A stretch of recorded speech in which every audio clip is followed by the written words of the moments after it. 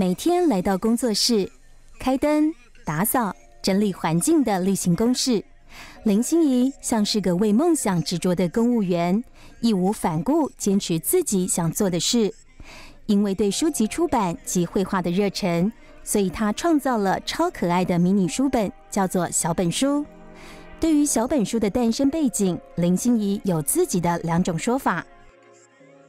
开始尝试在做手工书的时候，因为其实台湾这方面的资料不容易取得，然后就算你找到那些书的时候，它也是文字写的非常非常非常的多，然后所以你会开始是先是去呃练习去试缝，或者是做它一些封面的一个状态。那因为只是为了你要去试做，所以我一开始并不会把它尺寸就是设定在是一般人大小的书，然后只是因为单纯的懒惰，想说我先在小的上面试试看，因为我只是要想要试试看那个状态 O 不 OK 而已。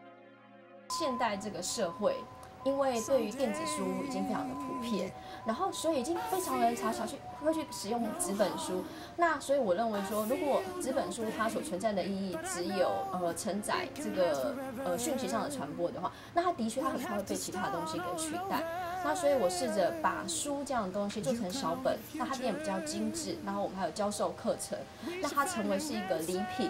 然后来唤起人们对纸本书的情感。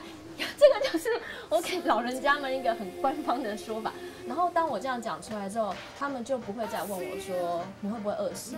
那你为什么要在这里？然后他们就觉得说我是一个向上有为的青年，然后在做一件没有人要做的事情。他认为，在电子书日渐发达的现代，需要有人正式印刷及出版。所以他开始授课，